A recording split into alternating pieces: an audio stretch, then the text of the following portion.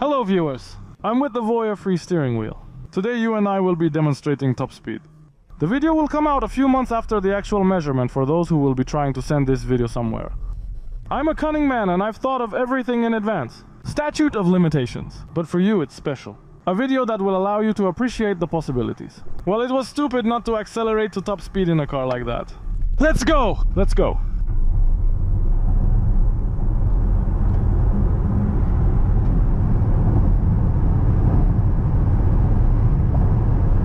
Seamless, fast, confidently fighting only with aerodynamics 200 km per hour should go maximum car. And in general, this is where the acceleration should end. But the acceleration continues. That is surprising here is such dynamics, friends very fast. Well, and how brakes from such speeds?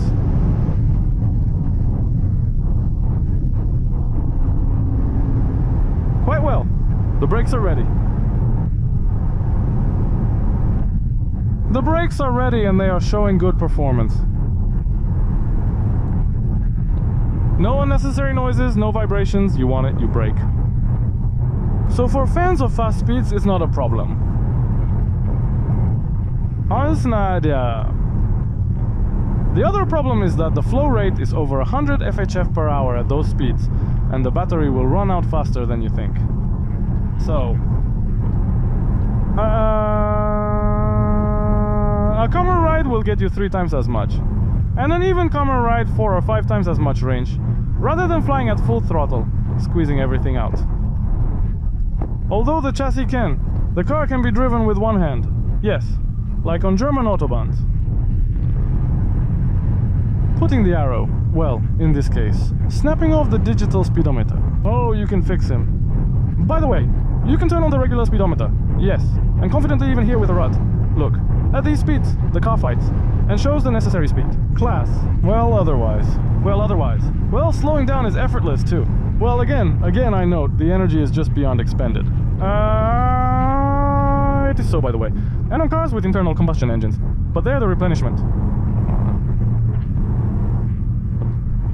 Of the fuel supply much faster than here in the electric train. Maybe we'll see charging there someday even faster than half an hour, 10 minutes. Then yes, But for now, super speeds just don't veil. It's fun to run a little bit on the limit, feeling the possibilities, but nothing more than that. Uh, the main thing is that the car allows you to go at these speeds if necessary. Yes, let's try braking again now. Let's see how the braking goes at these speeds. Interesting. Because on the German autobahns, yes, you have to slow down. There's someone out there, no problem at all. And understandably, the brakes are being applied right up to the limit right now. There was a squeak of rubber, but no ABS, nothing gave out. So the brakes are set up properly. And that's with an electric car. That's what the guys in China can do now. Dynamics, drive, buzz, and incredible possibilities.